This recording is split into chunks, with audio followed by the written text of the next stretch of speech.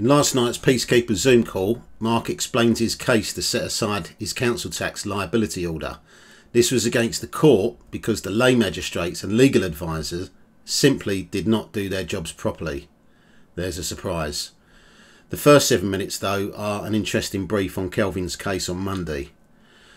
Now, when Mark gets the written order, which hopefully will be in about a week, week and a half, uh, we're going to do uh, another update and we're going to go through the whole thing. Okay, so Kelvin, uh, just give people an update and that of what happened to you. Um, we had quite a good day Monday, even though the judge was an absolute arsehole, a right stickler. He, um, in the end, he says, unhappily and reluctantly, I'll give you the adjournment. But that was after he tried every trick in the book to try and trip me over and uh, prevent me from getting my appeal. But in the end, he had to concede. And uh, do you want to just give people a bit of background and the reason and how and why he well, reluctantly what, had to give what happened was like the solicitors are so fucking useless. I thought I use that against them in our favour, and uh, I already prepared my paperwork as if the solicitor didn't arrive. So I just handed it in once the solicitor didn't arrive, and the uh, the, the judge was well pissed off that because uh, he thought we were going to have it all in and out, done and dusted, but uh, he was pissed off because no solicitor or, or barrister turned up from the, my side.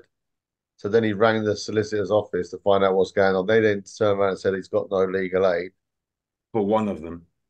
For well, I didn't have any appeals. From the from the first from the very offset. He's never wanted to deal the film in one.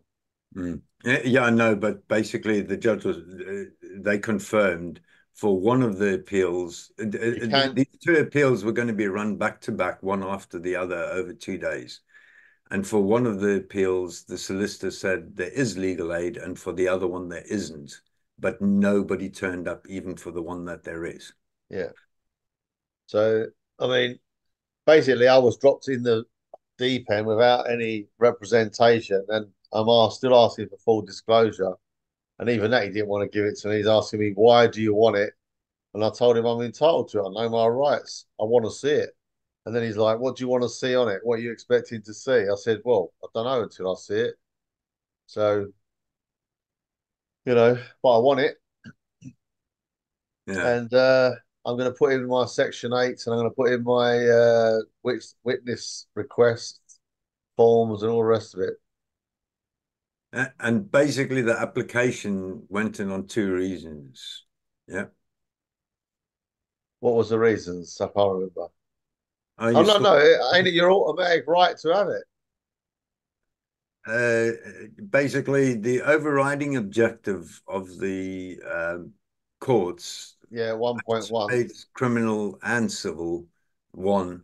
Yeah, and then in uh, sub details, okay, is that trials are dealt with fairly and justly, and that means treating parties uh, on an equal footing. And so what we were saying is, well, how many times has the guy dropped you like this? I don't think once a barrister was there in at least three occasions until after the hearing when it was organized. And they all just said, uh, we haven't got any briefs or whatever word they use. So we weren't sure if anybody was going to turn up. And so there was a change in circumstances from a reasonable belief based on track record that the guy will have somebody arranged and that's why he's not in communication and doesn't answer emails, to becoming a litigant in person. And that means uh, uh, it can't be dealt with now, needs to be adjourned. Otherwise, they're in breach of Article 6 uh, right to uh, fair trial. And the judge fucking knew that he was buggered.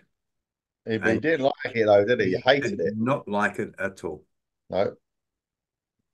No, but every trick he tried every trick in the oh. book to try and not let me have it. Yeah. They even tried to do the one that wasn't legal aided or wasn't legible for legal aid and tried to railroad Kelvin in. And so he was asking him, Were you driving? And what you need to do is really start to do what Kelvin did, okay? Listen to the questions the judges are asking you. Stop, breathe, think, and then act. Okay, you've got to overcome this natural urge to just spurt it out. Right. And basically, Calvin just, I think you said, I deny it or whatever. I can't remember. Well, you also use the words that they use, like, I believe I can. I believe he did. Yeah. So, uh, but it was absolutely brilliant because the judge was so pissed off with the legal representatives because that got thrown back in their face. The officers of the court can't be asked. And they need to deal with the officers of the court. And at that point, the judge actually hinted to the prosecution uh, to put in a wasted cost order. But the wasted cost order is go straight to the solicitor but not that Calvin's going to pay any costs anyway. But I'm paying nothing. Yeah. Okay. But the point there is because Calvin knew his rights, that means he knew the duties of the court, the judicial officers and the legal officers. Simply by knowing what their job is, the judge had no choice and reluctantly and whatever. Unhappily unhappily made the order. and you could see the steam coming out of his ears. so that there again, it might only be appear to be a small success. But the point is, if you know their duty and can call them out on the breach of duty, or you tell them their duty, they know you know, and you have put them in a corner. Okay. Okay, then what happened with me today? Uh, the same principles apply of what I've just described, but I'd like to uh, start with Tracy. Are you there, Tracy? No. Uh, Uh, okay, do you want to just, from your view, uh, uh, give a brief summary of what you saw, and then James is here as well. He can give his view. I think Lee, uh, uh is here as well. just so that people, you know, can see, because these are three witnesses that are here today of a liability order being set aside. I'm waiting for the written order, but that's for uh, two other purposes once I get the written order. But Tracy, just give a quick summary sort of of how you felt it was. Um, well, straight from the start, the security were fantastic. So Absolutely. they were more than helpful and um, to accommodate us. We didn't have any problems. Um, so that was a good start. Um, we did have a, a, little bit of an issue with two security upstairs, though, didn't we? I don't know what that was about, but it wasn't. They're not security, I think those were ushers, but the security put him straight in his place by saying, yes, we can turn around the bench after the guy insisted we couldn't. And the, the, those two guys just shut up. and, yeah, we, and the security guard helped us because the benches were all facing one way. And so by putting two facing uh, eight of us could face one another and sit and talk as a group. yeah, so that that was the um, security guy downstairs who sort of enforced that for us. So um, take my hat off. Uh, we're in straight away, practically just after ten past two. I don't have to wait about.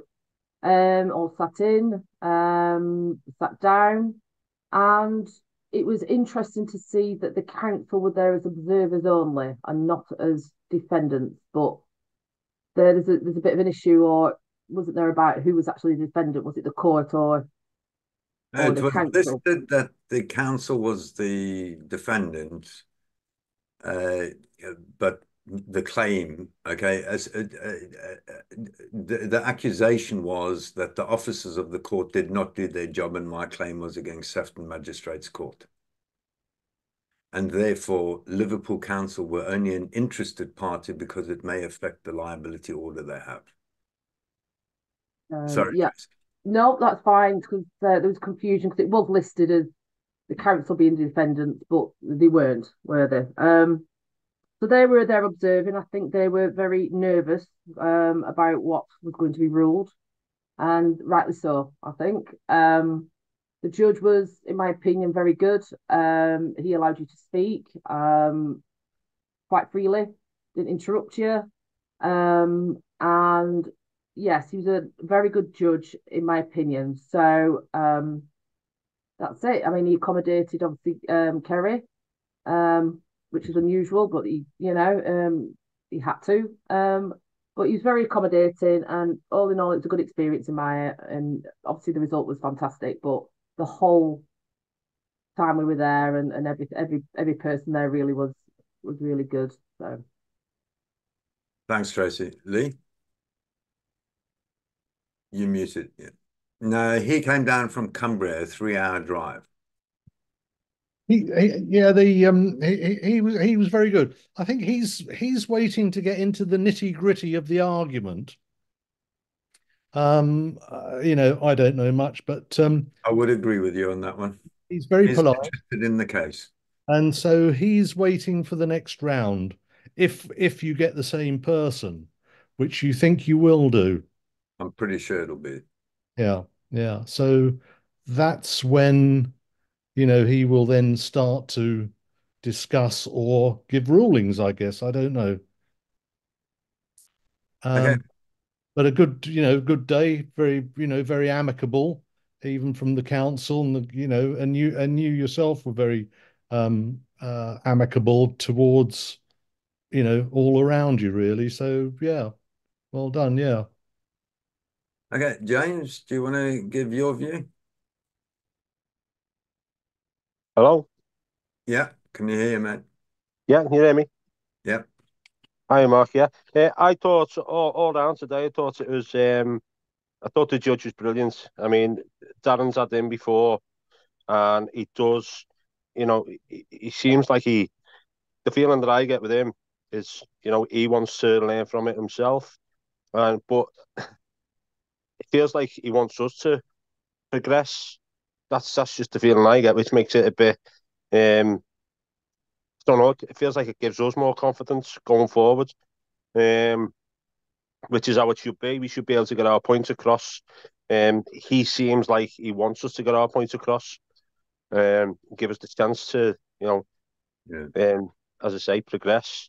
Um, I thought, the, as Tracy and Lee said about the court staff, they were they were good. Wasn't It didn't seem too good as soon as we went in. Seemed like a bit of an atmosphere when we were going through and getting searched. But when we went upstairs, you know, it, they were nice upstairs, um, outside the courtroom, which again was good. Um, felt a bit strange when the, the two council people walked in. Um, it felt like they didn't want to be there, but they had to be there.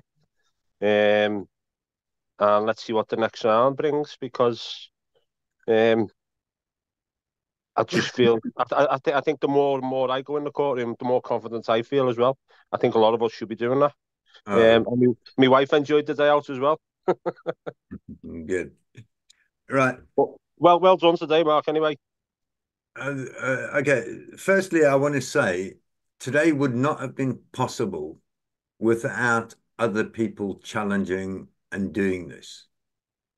Okay. Uh, uh, to have gained the knowledge that we've done, and Brian and I were discussing this earlier, uh, to achieve a liability order to be set aside, there is no liability order against me anymore. Okay. Within two years, uh, has not been, as far as I'm aware, I don't know anybody else who's actually got a set aside judgment. Okay. Uh, so for all those naysayers and negatives, okay, um, uh, this here, I think, is evidence uh, which cannot be refuted. And once we get once I get the written orders, we'll be doing this in detail. Okay, that by by knowing what their duty is, just like with Calvin, we know what their job is, and we are calling them out. In mine, I named the three magistrates. I named the legal advisor that wasn't doing their jobs properly. And had we not uh, gathered the knowledge that we've got as a group, today would have taken me another five or six times of not paying council tax to do it by myself. But even that, within two years, uh, as far as I know, I don't think anybody else has achieved what we did in the court today. So, th so thanks to all of you that have followed the process and had faith in what we're doing. Now we're getting the proof of the pudding. Okay. So let me just explain what it is. Um, in the beginning, it was interesting because he didn't use the word section 142. Um, and the document's entitled Offer for the Court to Correct its the mistakes of its officers. Okay. So uh, I, I, can't remember his exact words, but basically, um, he was going to, you know, basically just said the application to to set aside or something like that. Doesn't matter. The first thing is the case for set aside order is against the court. Okay. And for that, you need good reason. And basically, one of the reasons is them not doing their jobs properly.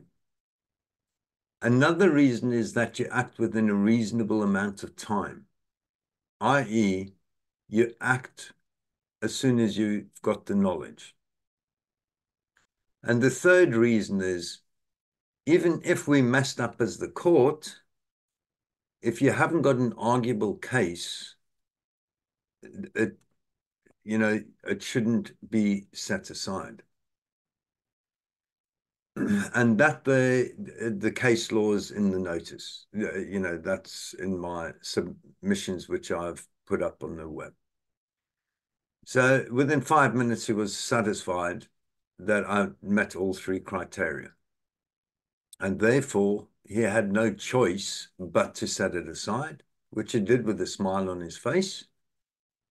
And apparently, Darren was uh, watching the count, or was it you, James, was watching the council people, and they were uh, changed their facial expressions when he said it's being set aside. Yeah, nice little, uh, nice little shake of the head to each other. Yeah, uh, I can't believe this. Yeah. okay. So because we know our stuff and we're getting to present it correctly, we are leaving them no choice but to do their jobs properly. Now, because this was against the court, it's a, the 50 page document, half of that is probably explaining to the court what their job actually is. i.e., your duties are under legislation this, under law that. Um, and uh, he was questioning the out of time thing. Uh, I didn't want to get into an, an, argument with him, but actually, Section 142 has no time limit. Okay. He was going on the Section 111. But the Section 142 this whole thing about time limits is important. People need to really start to get it. And the, in the Ashby versus White House of Lords judgment, uh, it, it, explains a lot. Equity will not suffer wrong with a remedy, which means if you do not stand on your right, you've given up your right. So, uh, and then the other one uh, is uh, equity does not, equity aids the vigilant, not the indolent. I.e., if you don't do, if you don't stand on your right, you are giving away your right. You need to act. Okay? So uh, basically, he didn't, he checked with the uh, magistrates court who confirmed the uh, that are uh, uh, you know put in the section 111 he didn't realize but they didn't say about the section 142 the section 111 was two days out of time and they rejected it. The section 142 however like i say doesn't have a time limit but also uh, the court sent them the correspondence between me and the court about the section 142, but excluded the fact that I'd put in a 142 and a 111 at the same time. But they only dealt with the 14, uh, 111 by saying that's out of time. So I resubmitted the 142 with changing the format to the three criteria uh, that need to be met. So the case is against the court, not the council, for a, a set aside. For that, you need to know what's their job, and you need to call out them for not doing the job. Okay? And so the interesting thing is the arguable case. In the submissions, we have an arguable case. He's confirmed it. So the arguable case is basically what we've been saying all along from day one. April, was it April the 1st, Brian? I can't remember. Uh, two years ago, prove my obligation. So uh, hopefully all those naysayers and all of that, uh, you know, that are preaching the person, he asked me, have you paid have you paid the council tax? I said, no. Basically, I confirmed the address. And then he said, are the property addresses different. So I said, yeah, that's because I'm the legal title holder of the property. And uh, one tenant moved out. There was a few days in between the next tenant moving in. And therefore, the council quite rightly have, you know, sent me as the owner of the bill. Uh, but basically, we went through the issue uh, very briefly the issue of the summons, the bill versus demand notice, the um, what else was there in brief? Uh, the Section 33 notice, uh, Regulation 33 notice, uh, the fact that the costs were not submitted uh, to the bench, that the bench refused to uh, look at my evidence, that the bench uh, refused me the right to cross-examine and present my evidence, i.e. breaches of their duty. Um, and so, uh, and then the last one was basically, you know, who the hell are Parliament? They can't tell anybody what to do. So we've got an arguable case there. And that's the first confirmation we've got that we've got an arguable case the council and them are just saying, ah, freeman of the land and all of this. Oh, and when he was asking me about the name and the address, and I said, look, you know, I, um, am here, and yes, they've done their job right. Okay. If there's nobody there as the tenant, as the legal title holder, they have to send me the, the demand notice. I'm not a freeman of the land thing. I'm here to try and sort out the due process of law. So I think, again, the universe is working in our favor because he had a hearing cancelled and he read through all 50 pages. So he understood the arguments. Uh, he certainly gets them. Okay. So that order is set aside. There is no liability order against me anymore. And that there is massive step forward by following the due process of law, that there's the proof. If you do things properly, you will get the liability order set aside. End of. Um, so all the people that are on about, uh, you know, uh, the person about the courts being corrupt, well, guess what? This is the magistrates' court who've set aside a magistrates' court order. So don't tell me that they're corrupt and all of that. Yes, there's a lot of incompetence. Yes, there are a lot of people don't know what their job is. However, when you get to the, this was a district judge, when you get away from the lame magistrates and bloody legal advisors who are there as government revenue collection agents, when people get that into their head, the courts are not hired. Okay? The problem is nobody has ever held the officers to account. To do that, we need to know what their job is.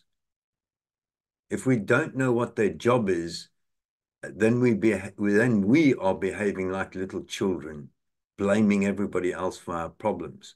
This shows you if we put in the time, put in the effort to understand what's going on and it's fair and just, then we will get results. Why?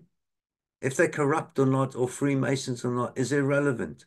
Because once you have the law on your side, then they will do their jobs properly. Okay.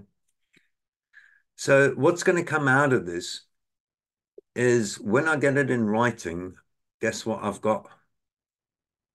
I have the proof that they've not done their jobs properly, i.e., I will be suing the uh, three magistrates and the legal advisor because the district judge has confirmed they didn't do their job properly. Mark. Yeah. Well, I can verify what you're saying. The course is not hired because I was in court last week for council tax. Yeah. Week before, and I sat there nine, uh, ten o'clock. Got there. Yeah. Somebody went in for council tax. So when he come out, I said, "Council tax? Yeah, yeah, yeah." And then a young man went in with a working clothes on. He went in. When he came out, I said, "Council tax?" Magistrates court. He went, "No, I've been a naughty boy." So the courtroom, he, he were looking at two different cases. The courtroom can't be hired. Of course it can't, Roman. But this year only if people go and witness it themselves, because Yeah, these that's what you've people got to that listen go to court, other people's opinions, okay, they're just oh time wasters. Yeah. Basically, if the courts are corrupt, okay, I wouldn't have got that judgment today. They would never have set aside my liability order. No, no, you're right. Now, the magnitude of that, okay, it's sending a message to the lower, to the lay magistrates and the legal advisors, because when they get the claim against them, okay, they are going to really talk about this. And no, then yeah. It's going to spread, okay? And the message is simple. The district judge has confirmed that you lay magistrates and legal advisors had better start doing your jobs properly, You got it. okay? Uh, so, explain, explain this to me then, right? Yeah. I was in court uh, about a week and a half ago. Magistrates court, three magistrates there, council tax, blah blah blah. Yeah. So when we walked in, he said, "Right, uh, to the council officer, can you go on the stand and swear on oath that you're going to tell the truth, the whole truth, nothing but the truth?" Yes. So he went on there, swore, da da da. mhm. I said, "Can I go on there now and, and do the same?" And they all stood up and said, "We can't hear this case. Adjourned." Yeah. Why was that? Uh, uh well, uh, I mean, basically, uh, why was that? You'd have to ask them, okay? Yeah, But but they adjourned Let me, to let me just finish with this one, Norman. Uh, Yeah. And we can, because I want to just try and keep it short for the, well, short, it's probably bloody long. I can't keep anything short. and, and then we can go back to generalities. Okay. Um, so uh, basically, the the judge opened the door for them to apply again to take me to court for council tax. Um, and uh, so I've been asked to uh, summarize, you, you know, narrow down the issues. I got 28 days to do that, and they have 28 days to respond because I said uh, that uh, they don't do anything unless the court orders. And previously, I had a court order telling them to respond, and they didn't bother. So, can you please make a court order forcing them to respond? Uh, which he said he'll do.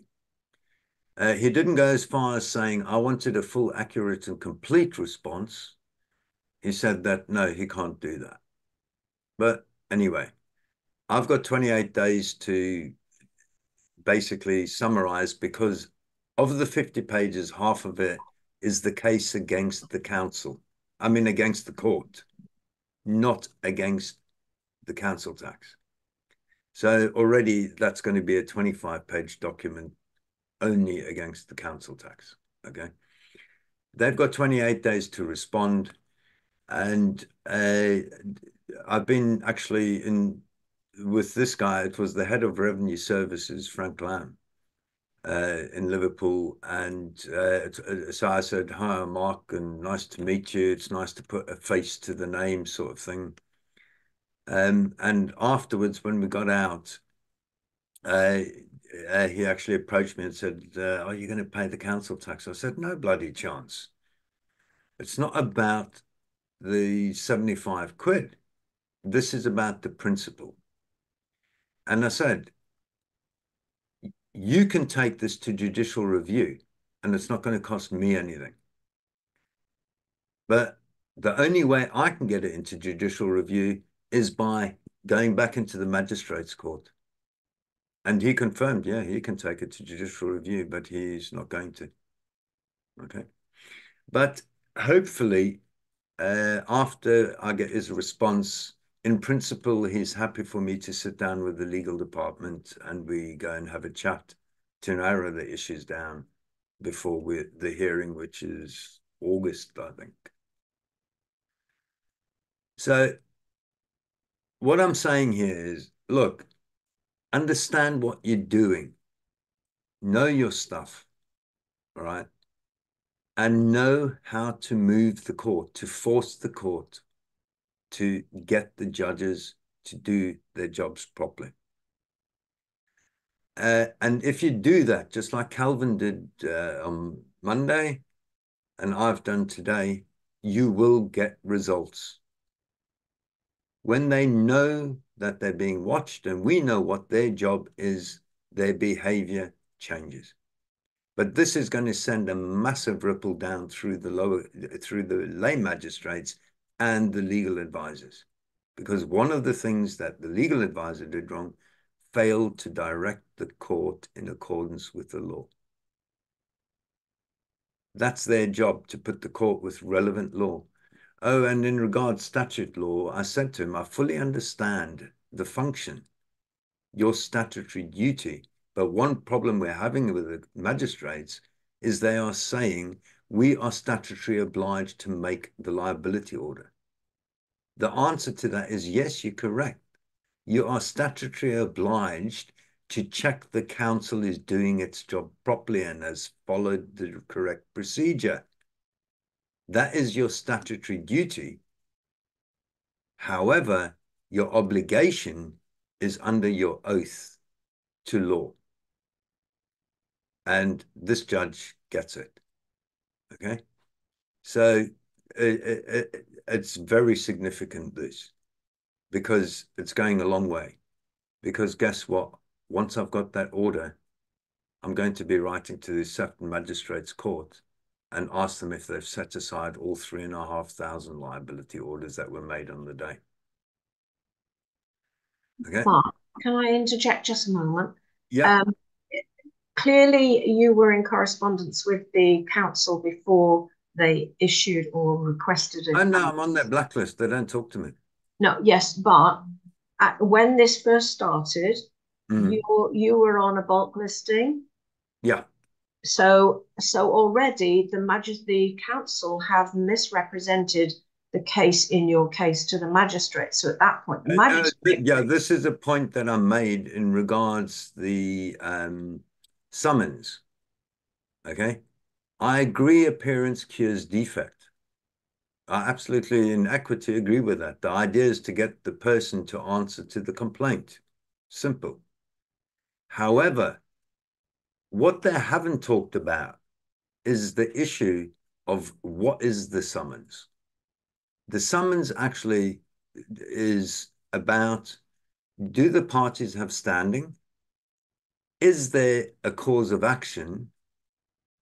Uh, and the one that they're ignoring is by issuing the summons, the court is accepting jurisdiction to resolve the dispute. And like I said to the judge today, by issuing the summons, the court has accepted jurisdiction to resolve the dispute unless the council has failed to inform them of the dispute.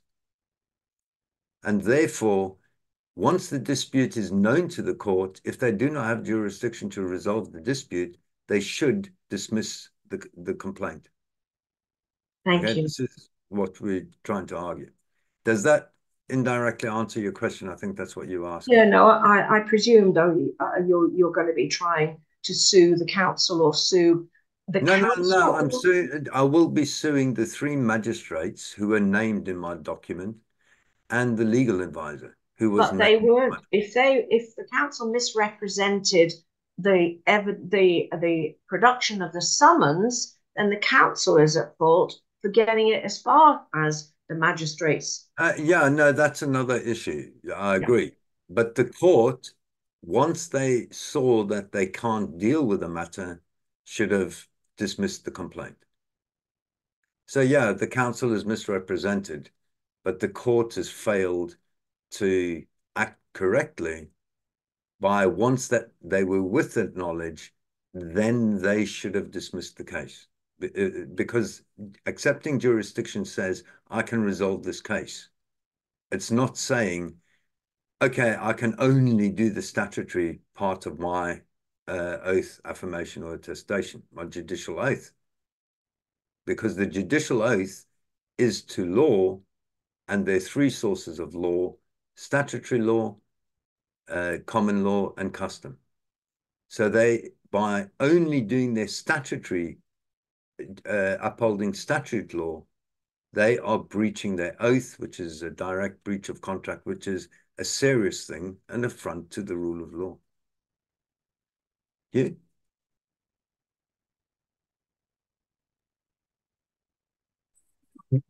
Okay, thanks, Mark. Mark. So, have I got this right? That uh, I've got a section 111 in Yeah.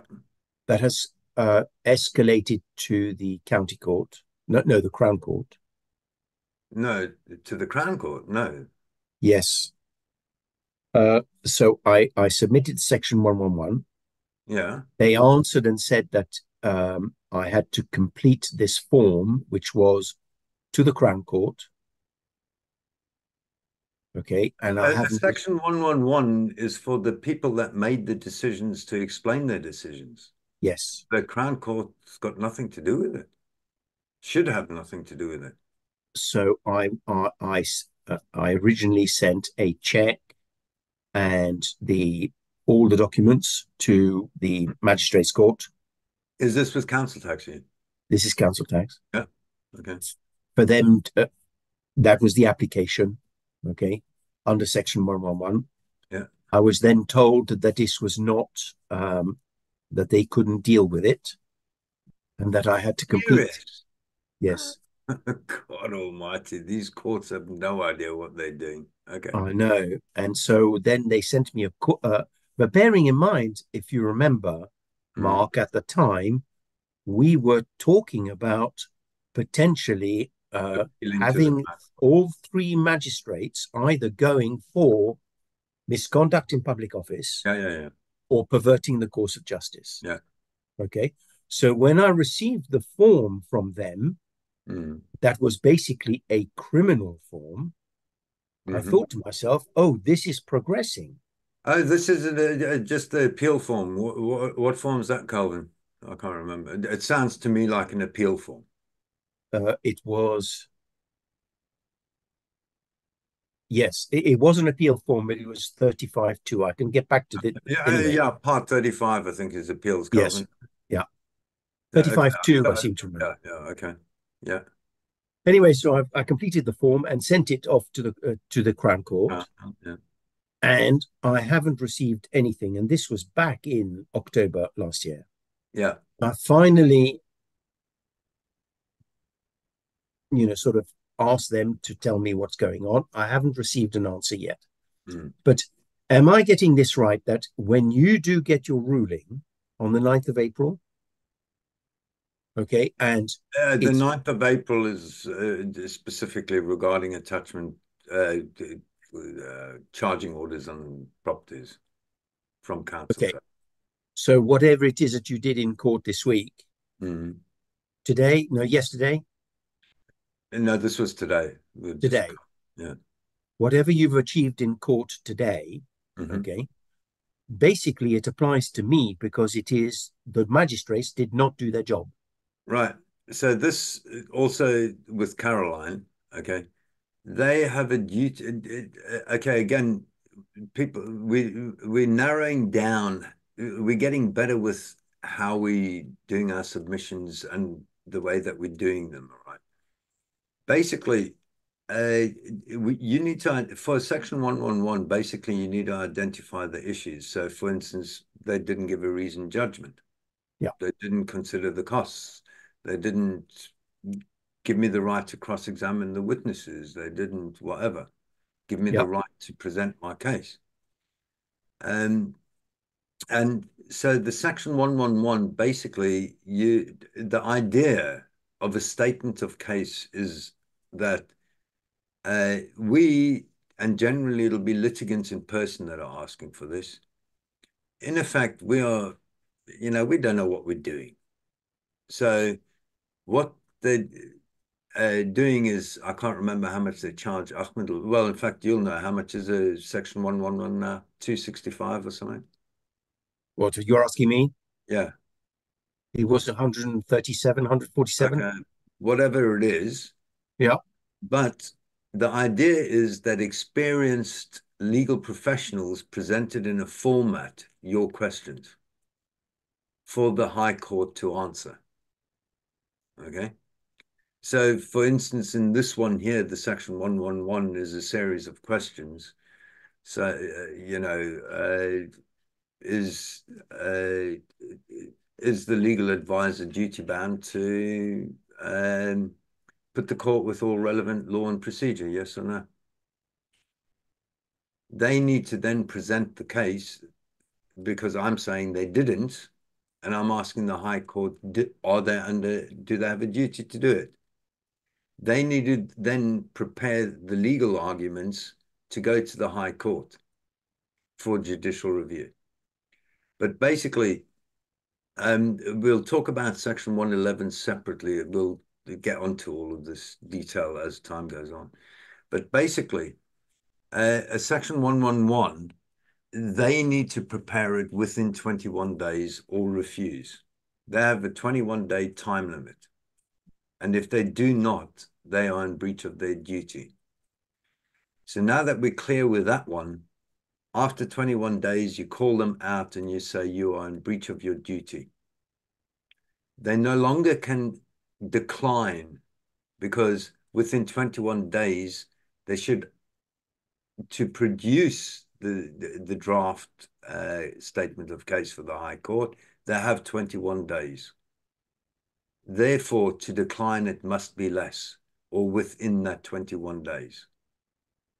So that there is how, uh, because in the beginning, Calvin and I couldn't work out what's their bloody time limit. We must be able to force them somehow. Okay, but that's the way to do it. Uh, so essentially, it's a statement of case where they give their reason as to how they reached whatever your question of law is. Okay.